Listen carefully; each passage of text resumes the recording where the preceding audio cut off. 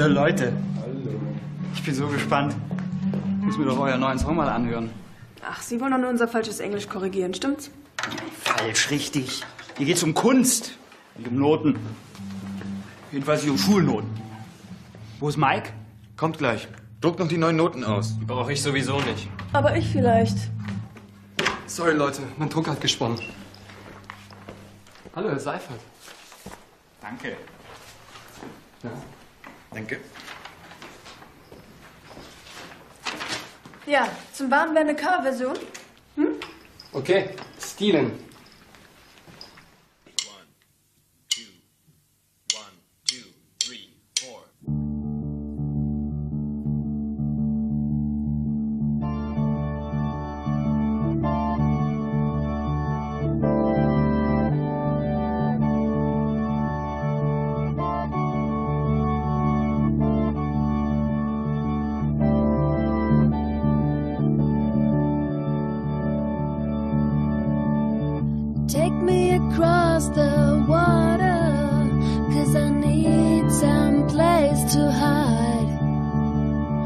Don't know Ranger's daughter, and I showed it hurt his pride.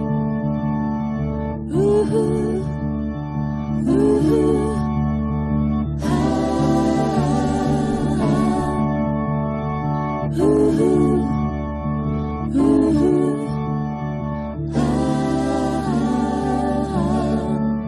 Well, there's a hundred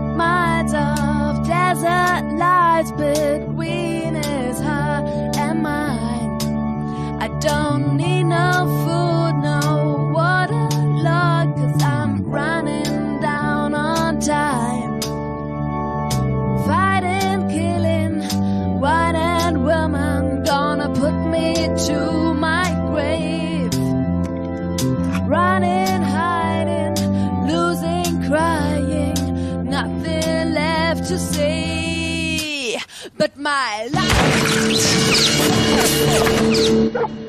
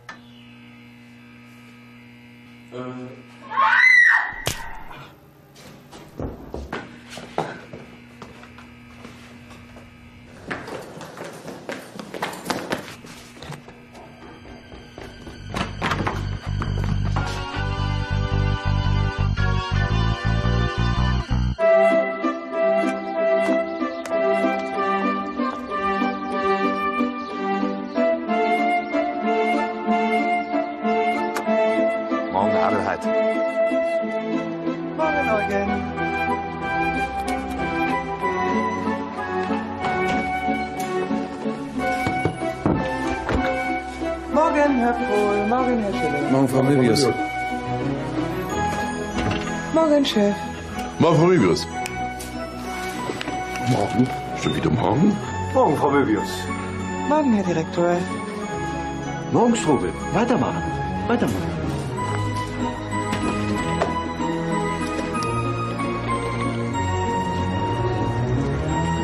Morgen, Herr Dr. Heilmann.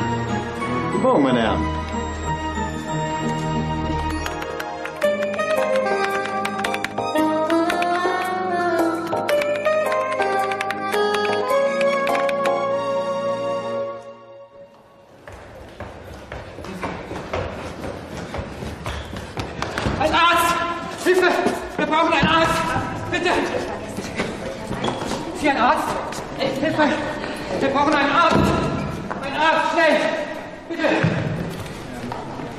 Was machen Sie denn hier? Was machen Sie hier? Ich, ich bin Arzt. Weight Observing, unsere Diätgruppe. Und Sie? Kommen Sie! Kommen Sie schnell! Moin für Paare. Kreativität in der Zweierbeziehung. Guck mal da. Frau Möbius. Das ist sie übrigens. Marion, meine ich. Von. Äh, Ralf.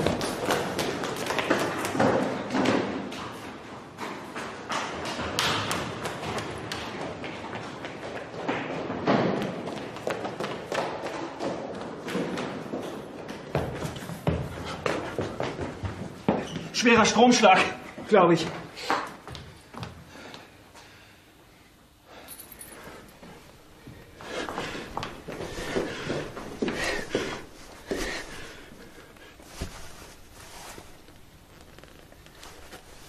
Da ist nichts mehr zu machen. Was heißt das? Das heißt, da muss jetzt die Polizei her. Tot. Die Polizei. Ja, natürlich, die Polizei. Herr Kleine. Hm? Die Polizei! Ich verstehe es ja auch nicht, Herr Oberstudiendirektor. Nein, nein, Panik. Ich muss nur Luft holen. Aber trotzdem, ich muss jetzt die Polizei. Hallo? Ist was passiert? Kopf gestoßen. Ja gut, wenn Sie wollen, dann machen Sie das. Aber schnell!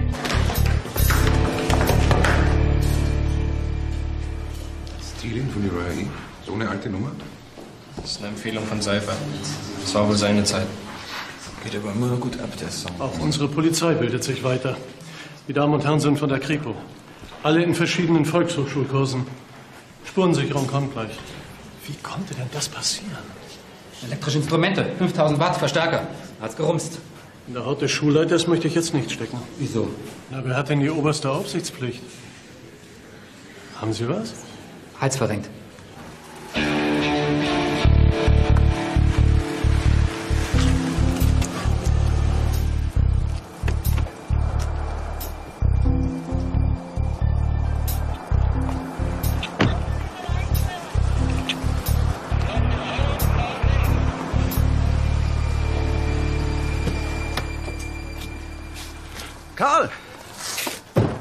Siegbert. Vielen Dank, dass du gleich gekommen bist. Das ist doch selbstverständlich für einen alten Schulfreund. Das dürfte der erste Todesfall eines Schülers in der Geschichte unseres Gymnasiums sein. Und das mir. Ich war von Anfang an gegen diese verdammte Schülerband. Und hab mich rumkriegen lassen. Nein, jetzt komm. Jetzt lass uns die Bescherung erstmal in Augenschein nehmen.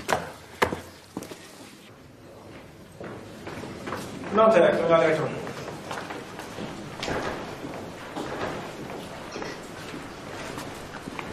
Frau Möbius! Was machen Sie denn hier? Entschuldigung, Herr Direktor, aber das Gleiche könnte ich Sie fragen. Man äh, hat mich gerufen, und Sie? Ich kam wie gerufen, weil ich war schon da. Und Herr Pohl und seine Marion und der Herr Schilling auch. Die Volkshochschule hat ja heute ein unglaublich breites Angebot. Kurse für jeden Geschmack und jedes Interesse. Das glaubt man gar nicht. Warum sollen unsere Räume die Hälfte der Zeit leer stehen, Siegbert? Und was haben Sie sich aus dem breiten Angebot ausgesucht? Literatur. Kriminalliteratur. Von Frauen für Frauen. Ja. Mitunter sehr spannend, aber wohl nicht spannend genug, um Ihr Interesse ganz zu vereinnahmen. Was? Ein bedauerlicher Unfall? Mit Todesfolge, höre ich. Das muss sich erst noch herausstellen.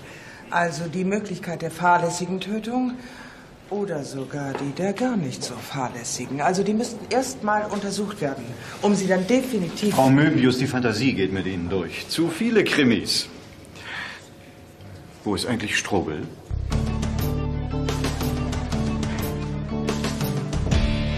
Lassen Sie mich diesen Fall weiter bearbeiten, Herr Kriminaldirektor, bitte. Sie brauchen bald einen geeigneten Nachfolger für Strobel. Und wo soll denn der herkommen, wenn der Nachwuchs nicht endlich mal an größere Aufgaben herangeführt wird?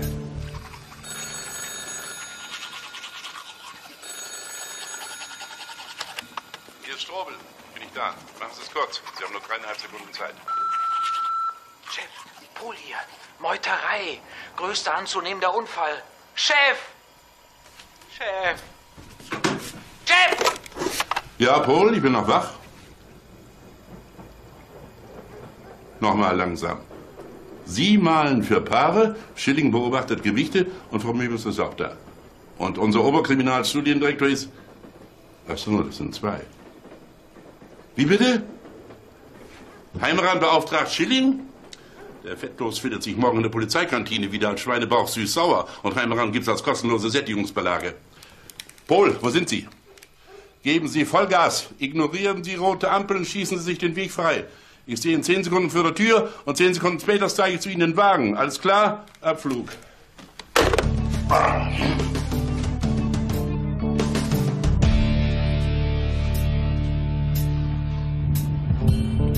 Gib doch mal Gas, Dieter. Oh, guck mal, da steht er ja schon.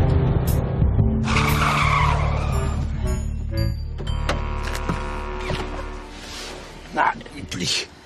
Wir müssen noch eben die Opfereltern benachrichtigen. Wer sagt das? Schillingaufweisung von Heimeran. Jetzt wird umgewiesen, ab zur Schule. Sonst hat Frau Möbers die Nase so tief drin, dass sie nicht mehr rausgeht. Die hört doch sicher wieder das Gas husten. Da ist aber die Nase vom Schilling diesmal gefährlicher. Der will sich nämlich profilieren auf Kosten vom Dieter und von Ihnen. Sie haben da was. Das ist aber nicht mehr malen für Paare. Absolut richtig, Herr Strobel. Der Schilling muss weg.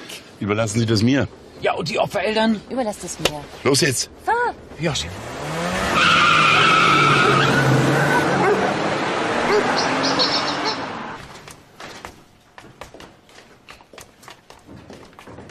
Frau Möbius, Sie assistieren als erfahrene Kraft.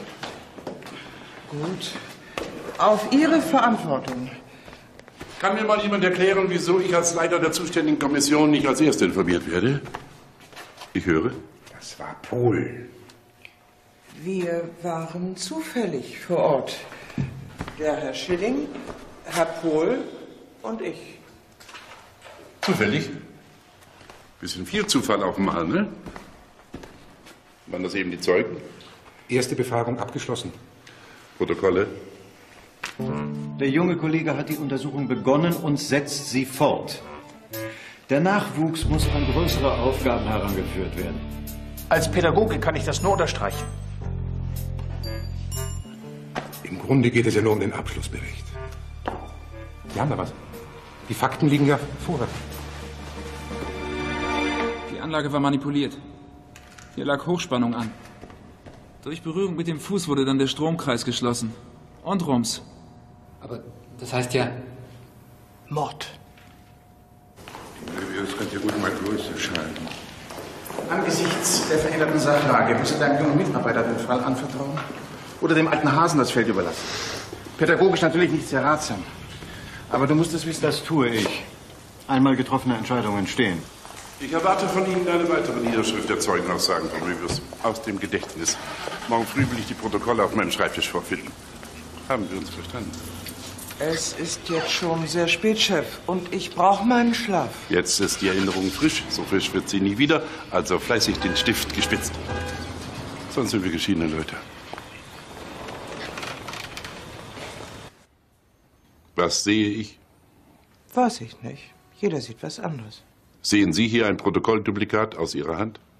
Nein, bin ich noch nicht zugekommen. Konsequenz? Ab jetzt sehe ich Sie nicht mehr. Warum? Weil Sie mich rausschicken. Weil Sie Luft sind für mich. Ab jetzt und für immer.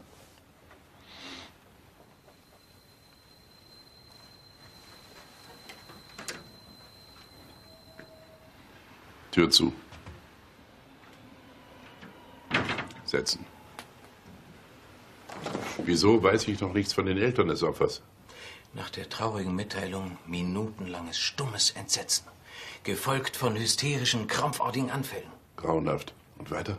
Die Mutter des Opfers verstieg sich dann zu Verwünschungen eines gewissen Biest, das ihrem Sohn den Kopf verdreht hätte, worauf dieser, aus pubertärem Imponiergehabe, seine wunderschöne klassische Akustikgitarre in die Ecke gestellt und stattdessen zu diesem jaulenden Mordinstrument gegriffen hätte.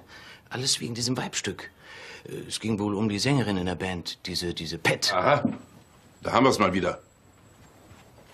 Die haben zusammen Musik gemacht. Sonst nichts? Alle sagten, sie seien Freunde. Das Mädchen und die Jungen? Wie fänden Sie diese Pettin, wenn Sie 16 ungebunden und sehr unternehmungslustig wären? Also ich bin doppelt so alt, trotzdem ungebunden und muss sagen, Verzeihung, absolut scharfe Braut. Sehen Sie? Warum sollte es Tom, Mike oder Axel anders gehen? Äh, gegangen sein? Jemand hat die Anlage manipuliert. Jemand, der Zugang zu den Geräten hatte, bevor Mike eintraf und der sich mit dem Zeug auskennt. Der Lehrer kam erst, als die drei schon übten. Pat? Wohl kaum. Wir bleiben Tom oder Axel oder beide. Aus Eifersucht. Aus Rivalität um Pat, die Mike vorgezogen hat.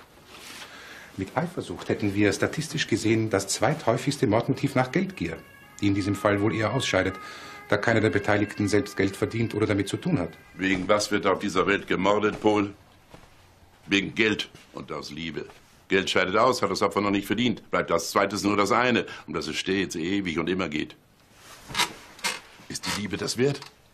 Ja, am Anfang vielleicht schon. Und später? Später ist es dann mehr Vertrauen und Sicherheit und. und. Malen für Paare. Also erneute, diesmal getrennte Zeugenbefragung. Ja. Darf man fragen, was der Ermittlungsleiter plant? Oder ist der Teamgedanke ganz abgeschafft?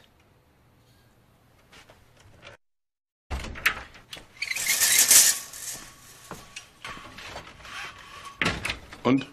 Nochmalige, diesmal getrennte Zeugenbefragung. Ist das alles? Viel hat sie ja diesmal nicht auf Lager. Sie? Und was ist mit ihm? Vergessen Sie Schilling. Dieses Weichei. Wer da drüben den Ton angibt, ist doch wohl klar. Die Möbius pusht diesen Scherzkeks noch ganz nach oben. Thema Teamarbeit. Ich bräuchte jemanden, um die Zeugen aus der Schule hierher zu schaffen.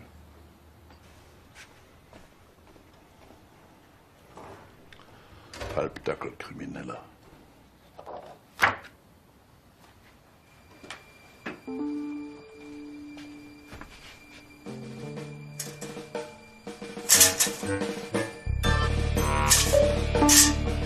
Mitten aus dem Unterricht muss das denn sein? Klar, Macht demonstrieren, ganz wichtig. Die Schnelligkeit der Ermittlungen nach einer Tat ist entscheidend. Ein Fall löst sich entweder unmittelbar oder es dauert Monate. Ein Mittelding findet sich fast nie. Was Monate? Ich höre ja wohl nicht richtig. Immer mit der Ruhe. Jetzt setzen Sie sich erstmal.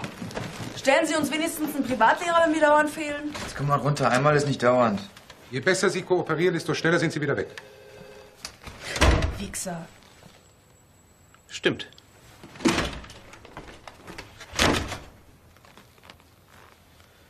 Von allen ist überall was drauf. Logisch.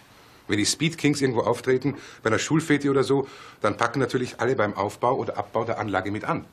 Und der dicke Daumen hier, von wem ist der? Der ist noch nicht identifiziert. Aber lassen Sie ihn vom Hausmeister oder von Seifert, dem Lehrer sein. Die Betreuung der Band ist ja quasi Ihre Aufgabe. Aus den Fingerabdrücken lässt sich kein Indiz stricken, oder? Ich denke, Sie sollten mit dem Bassisten, diesem Axel, anfangen. Der war gestern als erster im Übungsraum, hat er selbst zu Protokoll gegeben. Wir treffen uns zuerst den oder die vor, der oder die gestern als erster erster im Übungsraum war. Und das war wer? Oder was? Moment. Wer war denn gestern als erster im Übungsraum?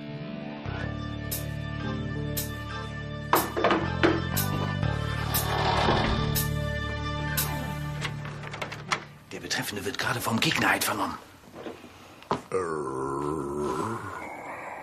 Ja. Gestern war ich als Erster da. Aber was soll das heißen? Dass Sie, erstmal rein hypothetisch gesprochen, unbeobachtet Zugang zur Anlage und zu allen Instrumenten hatten. Sie verdächtigen mich also, dass ich am Equipment rumgefummelt habe. Erstens, warum sollte ich das tun? Zweitens, könnte genauso gut jemand am Ende der vorletzten Session was gedreht haben. Und da bin ich nämlich als Erster weg. Drei Jungs und ein Mädchen in einer Band. Und so wie Pat aussieht, da gab's keine Rivalität. Ja, ich habe auf Mike gestanden, okay, aber da lief nichts, echt. Ich glaube sowieso, der hat nur auf seiner Gitarre gestanden. Ah, was? Woran konnte man das denn merken? Naja, er hat sie Lucille genannt, das reicht ja wohl, oder? Und sie so Henriksmäßig mit der Zunge bearbeiten, das hat er ja auch schon probiert. Ja, Jimmy. Jimi Hendrix.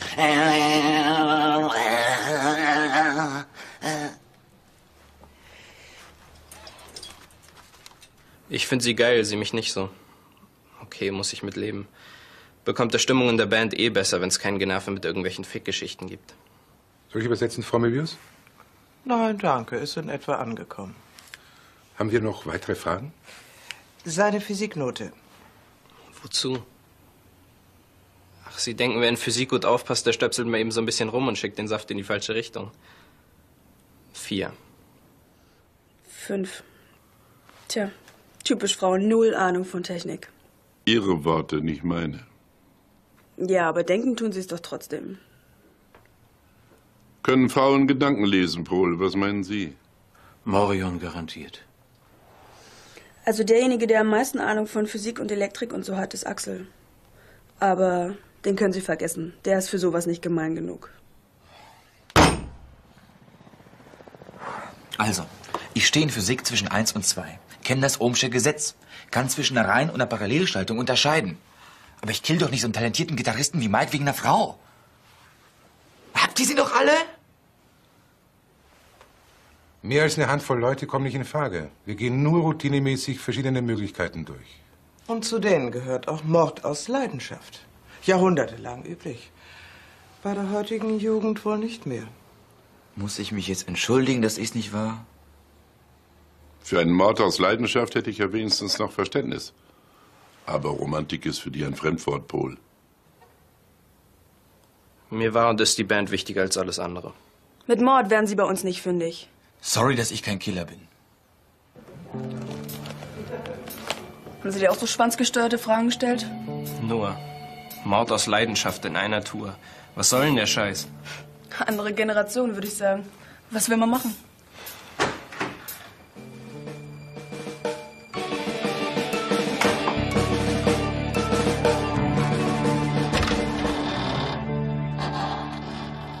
Was geht denn jetzt hier ab?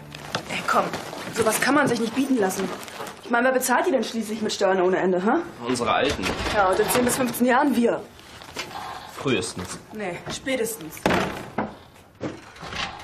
Also wenn wir schon einen kompletten Schultag verpassen, ja, dann müssen wir nicht auch noch blöde rumsitzen und die Zeit totschlagen. Ihre Kollegen sind eben grußlos an uns vorbei Richtung Ausgang. Die hatten wohl auch genug. Ja, also brauchen Sie uns noch oder nicht? Weil ich müsste noch mal dringend in meine Lateinvokabeln für morgen gucken. Passen Sie mal auf. Bei mir besteht überhaupt gar keine Fluchtgefahr. Ich will mein Abi nämlich dort machen, wo ich schon seit acht Jahren büffel. Also, wenn Sie mehr auf der Pfanne haben, als dauernd dieselben haltlosen Beschuldigungen zu wiederholen, dann wissen Sie ja, wo Sie uns finden. Und tschüss. Küsschen. See you. Scheiße ohne Beweise. Zu meiner Zeit war Schule Schmerz eine Ehrensache. Und zwar mit gefälschten Entschuldigungen.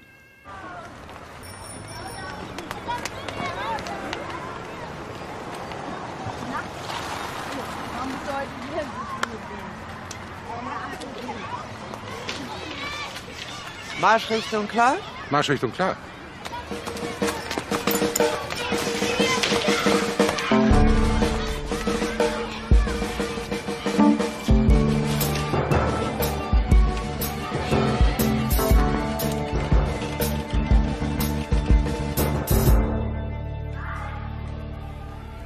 Hatten Sie keine Bedenken gegen die Aktivität der Schülerband außerhalb der Schulzeit? Aufsicht konnten Sie ja nicht gewährleisten. Wenn man die Aufsichtspflicht so eng auslegt, schnürt man die Eigeninitiative der Schüler total ein. Keine Sport AG, keine Theatergruppe, kein Chor, rein gar nichts. Wenn auch selten etwas passiert, man muss mit Unfällen rechnen. Das mit dem Unfall ist ja gerade zweifelhaft. Was haben Sie denn da? Ein kleines Malheur. Am Ende war es ein technischer Defekt, Sie werden sehen. Bitte. Etwas anderes kommt doch gar nicht in Frage. Mehr als Herrn Seifert und Herrn Kleine mit einer ordnungsgemäßen Erstinstallation der Musikanlage betrauen konnte ich nicht tun. Es war ja auch alles in Ordnung. Bis gestern. Also liegt die Verantwortung Ihrer Meinung nach bei den Genannten? Nein, dass Sie bloß keinen falschen Eindruck kriegen. Ich habe die Initiative von Herrn Seifert, neben Chor und Orchester auch eine Rockband ins Leben zu rufen, von Anfang an unterstützt. Denn ich finde kulturelle Betätigung optimal für die Persönlichkeitsentwicklung junger Leute. Der Herr Oberstudiendirektor war von Anfang an gegen die Band. Und es hat sich ja aufs, aufs Schlimmste bestätigt. Wieso war er dagegen? Wir haben ein Schulorchester und einen Schulchor. Das reicht ja wohl. Man muss doch auch ein bisschen mit der Zeit gehen. Aber nicht, wenn keine Aufsicht da ist. Seifert hat zwar am Anfang die Installation der Anlage mitgemacht. Ich habe auch mal einen Blick drauf geworfen. Aber ich bin ja nicht als Rodi von einer Rockband angestellt. Wenn Sie solche Bedenken hatten, wieso hat der Direktor nicht auf Sie gehört, sondern letztendlich doch seine Zustimmung gegeben? Weil er Seifert Stimmung gemacht hat. Mit Rückendeckung von oben. Erst Schulrat, dann Kultusministerium. Er hat da offenbar Freunde. Beziehungen. Bin gespannt, ob die Herrschaften jetzt zu ihrer Verantwortung stehen. Oder den ganzen Schlamassel der Schulleitung anhängen. Das wäre noch der Gipfel. Ich denke, der Herr Seifert wird zu seiner Verantwortung stehen. Deshalb hat er sich jetzt auch erstmal krank gemeldet, was? Also zwei komplett unterschiedliche Aussagen. Und welche Fassung stimmt? Im Endergebnis wollen beide die Verantwortung wegschieben. Der eine verpackt es diplomatischer, der andere direkter. Und dass Indizien gegen einen bloßen Unfall sprechen, das ignorieren wir einfach völlig. Wir sollten sofort zu Seifert fahren und ihn mit den unterschiedlichen Aussagen konfrontieren. Mal sehen, ob der sich auch aus der Affäre ziehen will. Und bevor wir das machen, essen wir erstmal was. Seit dem Frühstück keinen hab's zu mir genommen. Ich auch nicht. Und das Komische ist, ich habe gar keinen Hunger. Das ist wirklich komisch. Ja, wenn man mal so richtig an den Fall herangelassen wird, hat man nichts als die Arbeit im Kopf. Eine ganz neue Diätform. Hoffentlich lösen sich alle Rätsel bald, sonst sind sie am Ende nur noch ein Strich in der Landschaft. Oh, ich denke, ideale Tatumstände für minus 30 Kilo. 30 Kilo abnehmen? Dann sollten Sie aber auf Dienstfahrrad umsteigen.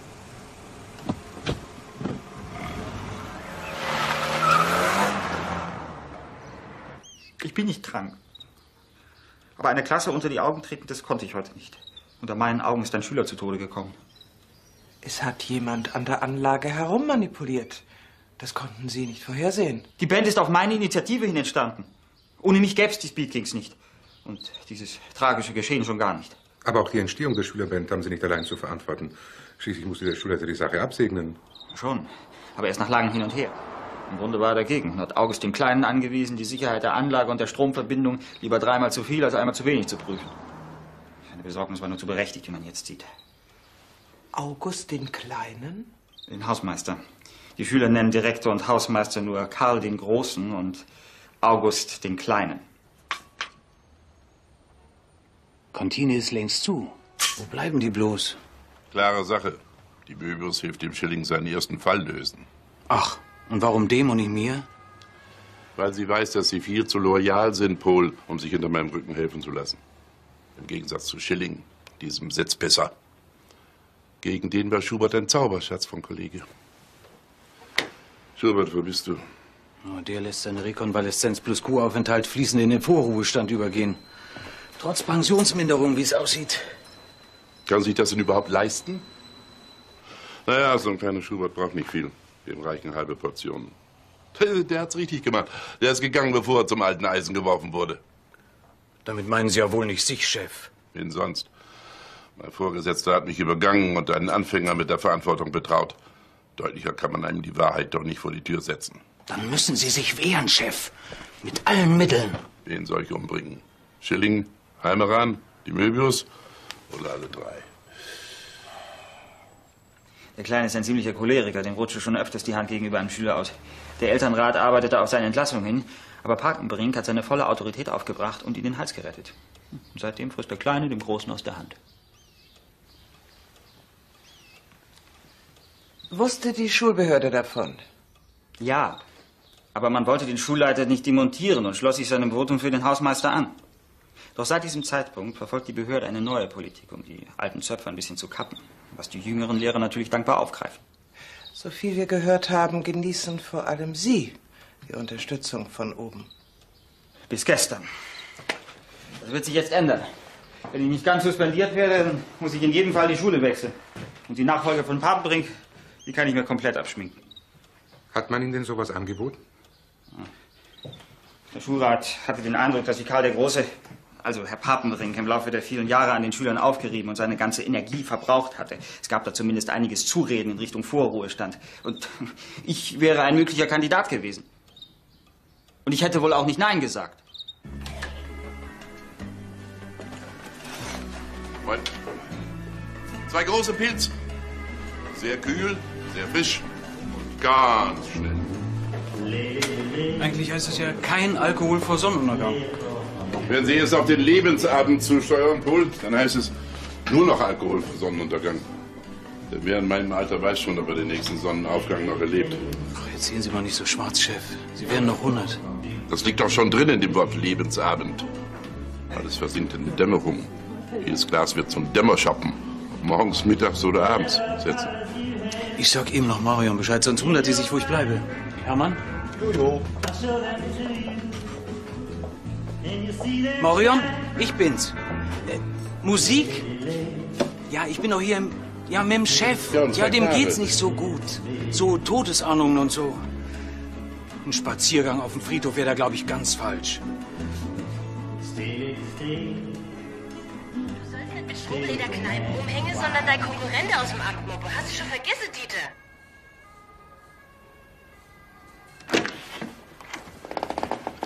Herr Direktor. Weg, Strobel weg, Pohl weg, Schilling weg, Frau Möbius weg.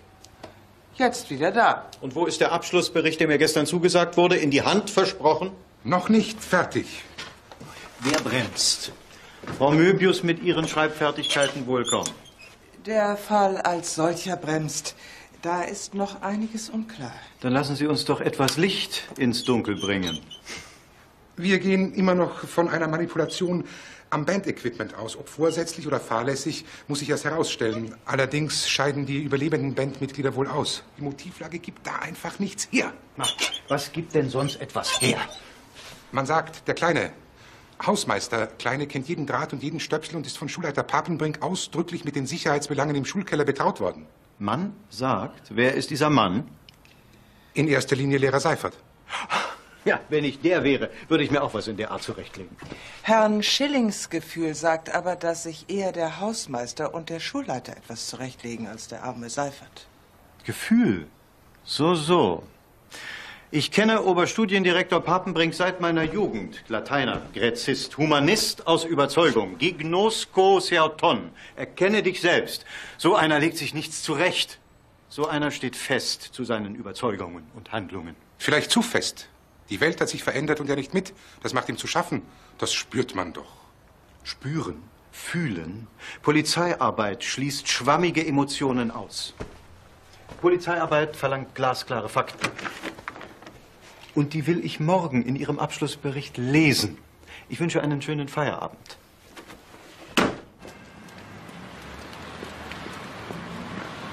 Siegfried, hallo. Karl, Mensch. Entschuldigung. Denk an meine Pumpe. Ich will die Rente ohne Herzinfarkt erreichen. Ja? ich habe ich hab deinen Wagen stehen sehen und war gerade auf dem Weg und dachte, der Siegbert wird jetzt auch bald Feierabend haben und da warst du praktisch schon da. Du musst mich doch nicht hier abpassen. Du kannst auch in mein Büro kommen. Ja, ich dachte, wir könnten ein Glas Wein oder so im Ratskeller. Na? Ja. Ja, warum nicht? Gibt's was Neues? Ihr ermittelt doch weiter. Willst du mich aushorchen oder ein Glas Wein mit mir trinken? Reg dich nicht auf. Wer sagt denn, dass sie dir was anhängen? Wer sie? Du gehörst auch dazu zu dem Laden. Pass auf, der Verdacht kann nur gegen jemanden gehen, der A. Zugang zu dem Übungsraum hat und B. Das ist das Entscheidende, Ahnung von Technik. Du kannst tote Sprachen, aber kannst keine Schraube reindrehen. Also.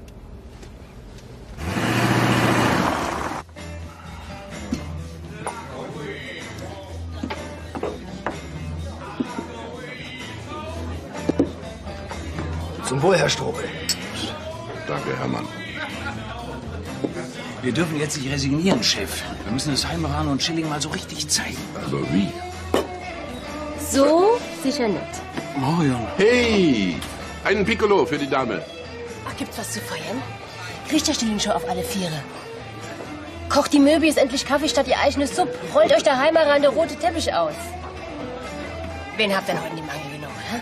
Wem habt das Geständnisinteresse? Vorzeigbare Erfolge. Wir haben uns die drei restlichen Bandmitglieder ganz schön zur Brust genommen. Ja, und Dieter, muss ich dir die Würmer einzeln aus der Nase ziehen? Moment, Ihr Temperament in allen Erden, aber der Schock von heute Morgen muss erstmal verdaut werden. Eine Jugend, die nicht mehr ist, was sie einmal war, nicht? Kein Leichtsinn, kein Übermut, keine Verrücktheiten, keine Leidenschaft, keine Liebe, keine Eifersucht. Nur Berechnung, Planung, Ehrgeiz, Leistung, Leistung, nicht? Die habe, was euch fehlt. Die haben eben nicht, was uns fehlt. Ein anständiges Motiv, nämlich. Lassen wir mal die drei Oberschüler weg. Wer bleibt? Der Lehrer, der Hausmeister, der Schulleiter oder der große Unbekannte. Was hat der Vater vom Opfer gestern gesagt? Da lasse sie den Kleinen alles dreimal prüfen und dann das. Lehrer ohne Motiv. So ein humanistischer Oberstudiendirektor kann Latein, aber keine Schraube eindrehen. ne? Also, Hausmeister oder großer Unbekannter. Fangen wir mit dem Hausmeister an, ist leichter. Leicht, Dieter, was ist denn das für ein Vorsatz? Aber besser als gar nichts, Prost. Das ist Mario. Bravo, Hermann.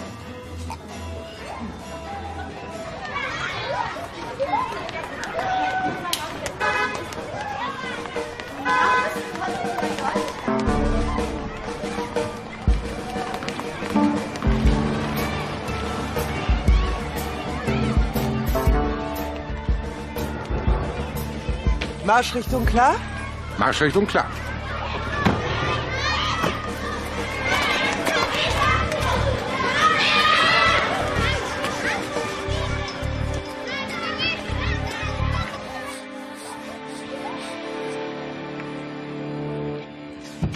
Guten Tag. Was wollen Sie denn hier? Die Schulsekretärin hat mich hergeschickt. Das ist doch keine Antwort. Ich bin auch kein Schüler, den Sie abfragen können. Darf ich mal?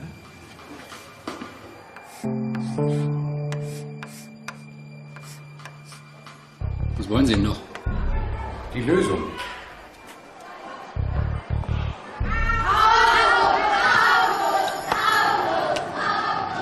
August der Kleine und Karl der Große. Hm? Hat sich das auch schon rumgesprochen bis zu Ihnen, ja? Oh, ich finde das nicht schlimm. Lehrer Seifert nennt sie auch so.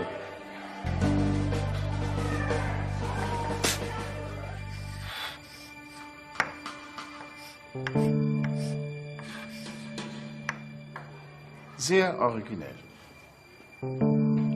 Hab ich nicht erfunden.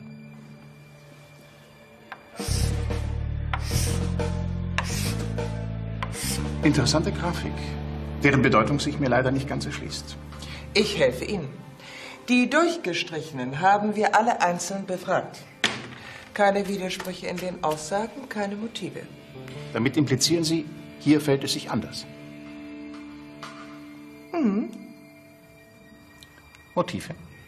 zumindest Widersprüche. Ich will Ihnen mal was sagen. Der Seifert, der kann sich noch so gemein machen mit den Schülern. Danken wird's dem keiner.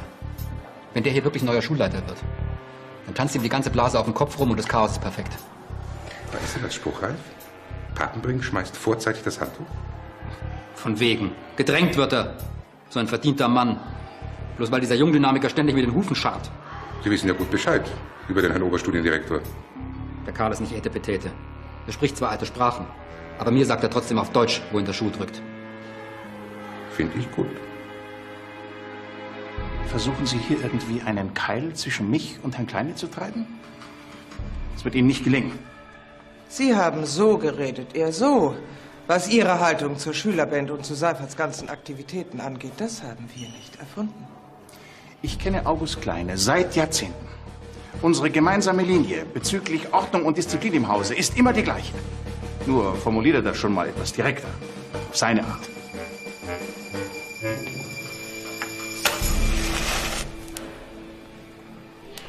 Wir stammen beide noch aus der alten Schule.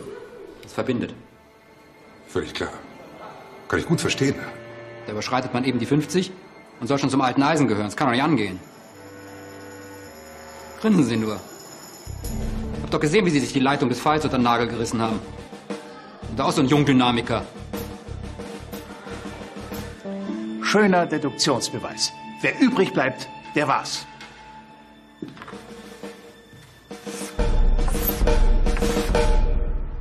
Wer sich mit Gerundium und Gerundivum auskennt, ist kein Elektrofachmann. Es gibt für alles Bücher.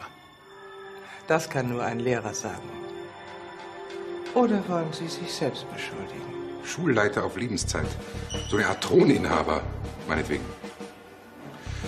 Aber ich habe da noch eine Frage. Haben Sie Karl den Großen vielleicht in die Geheimnisse der Elektrik eingeweiht? Als Gegenleistung. Gegenleistung wofür? Für sein Verständnis, dass Ihre Hand ziemlich locker sitzt. Und dafür, dass er Ihnen, was Postenlohn und Rente angeht, den Kopf gerettet hat. Oder hat Sie August der Kleine persönlich unterrichtet? Warum und wozu? Aus Dankbarkeit für Ihren Beistand. Sie wissen schon, körperliche Gewaltanwendung gegenüber Schutzbefohlenen. Und um ein schweres Unglück zu inszenieren. Mit Starkstrom. Was man prima dem aufsichtführenden Lehrer anlassen kann. Dessen Karriere damit erstmal gestoppt wäre. Sind Sie von selbst draufgekommen? Oder haben Sie ihn angestiftet?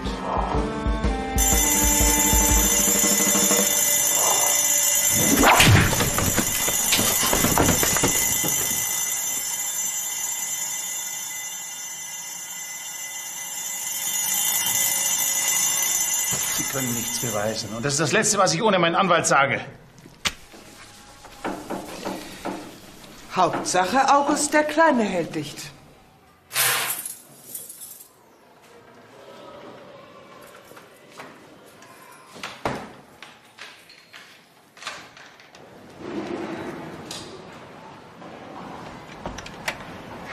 Er könnte auf mildernde Umstände spekulieren, wenn er Sie der Anstiftung bezichtigt.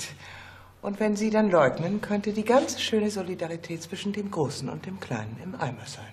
Ich möchte jetzt in mein Büro. Die Lateinschule beginnt erst um neun. Die wollen uns fertig machen. Da bin ich ausgerastet. Wo ist mein Kollege? Sagen Sie mir sofort, wo mein Kollege ist. Dann gucke ich ihm selbst nach. Lassen Sie mich los, oder ich mache gewaltigen Radau. Ah!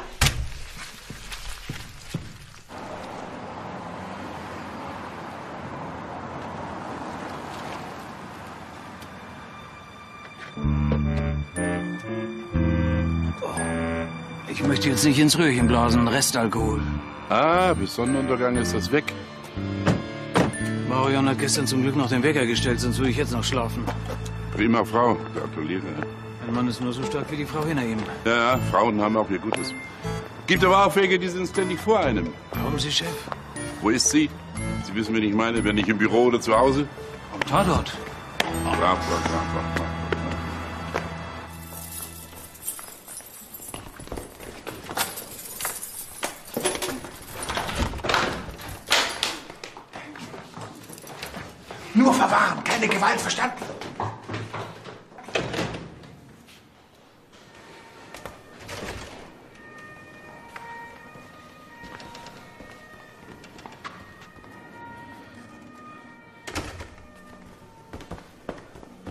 Herr Hauptkommissar. Morgen erstmal. Meine Sekretärin gesehen? Morgen. Wen? Oder den Kollegen Schilling. Moment mal langsam. Wen? Frau Möbius suchen wir. Schlank, blond, mittelgroß. Und Herrn Schilling. So groß, so dick und ziemlich wichtig neuerdings. Sein Wagen steht doch vor der Tür. Ach so, warten Sie mal. Vielleicht hat der Hausmeister. Nee, nicht in seinem Raum. Suchen wir doch alle drei zusammen und gemeinsam. Wo fangen wir an? Oben und arbeiten uns nach unten. Los, los.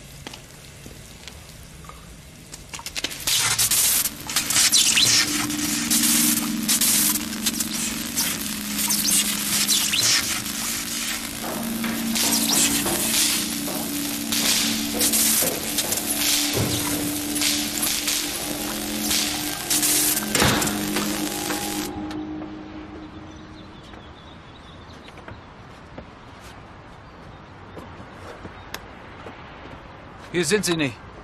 Messerscharf beobachtet, Paul. Aber Sie könnten hier gewesen sein, weil Herr Kleine zeigt Besuchern immer gerne die schöne Aussicht. Wo sind Sie abgeblieben? Weiß ich nicht. Frau Möbius kann vieles, aber fliegen kann sie noch nicht.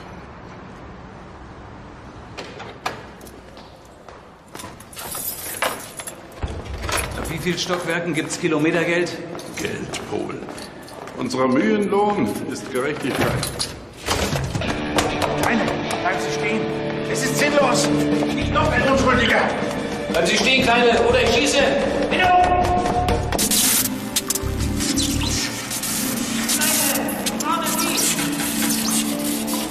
Mach vor der Schusswaffe eine Frau!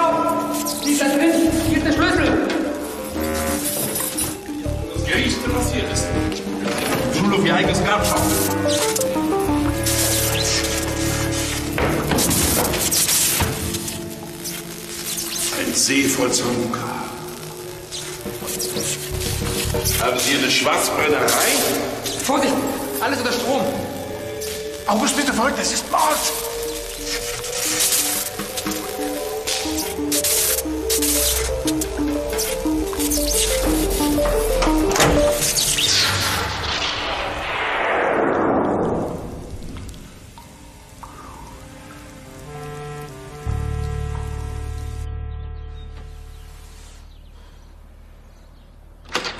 Den Schüler nicht umbringen. Es Ein Versehen. Ein paar Volt zu viel.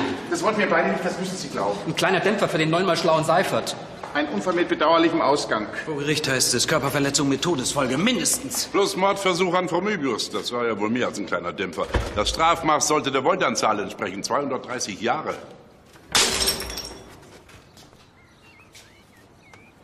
Schilling! Verdauungsschlaf am frühen Vormittag. Nee, noch eine Kurzschlusshandlung. Bisschen viel auf einmal, nicht? Schaffen Sie uns bitte hier weg. Den Triumph gönne ich den Schülern nicht. Man sollte sie öffentlich auf dem Schulhof ausstellen. Das kommt raus, wenn man Leute einfach zum alten Eisen wirft.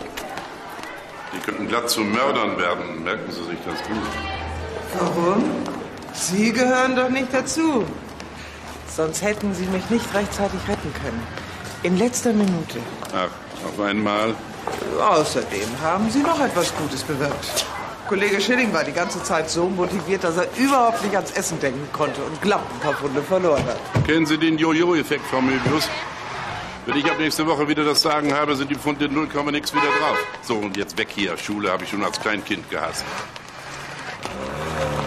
Vielleicht bleibt der Jojo-Effekt bei Schillings neuer Arbeitsdiät aus, wenn der Herr Direktor ihm gleich die nächste verantwortungsvolle Aufgabe überträgt. Das wird er schön bleiben lassen. Sonst schmier ich ihm aufs Brot, mit was für schönen Freunden er die Schulbank gedrückt hat. Und der Brotaufstrich wird fingerdick sein. Wenn Sie dem so kommen, Chef, hat er garantiert schon immer gewusst, dass mit seinem Schulfreund was nicht stimmt. Ja, Charakter ist eben Glückssache. Findet man seltener als eine Lupe im Heuhaufen. Besonders bei Vorgesetzten. Wenigstens in der Sache scheinen wir ja einer Meinung, Frau Möbius. Besser als nichts. Oder, Chef?